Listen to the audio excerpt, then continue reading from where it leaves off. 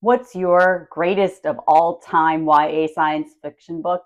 Here's mine Arc of a Scythe by Neal Shusterman.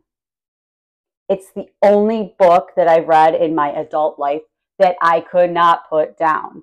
Every time I paused at the end of a chapter, I had to keep reading and reading and reading until I reached the end. And when I reached the end, I had to go buy the second book in the series and then the third. And then when the fourth one came out, I devoured that one as well.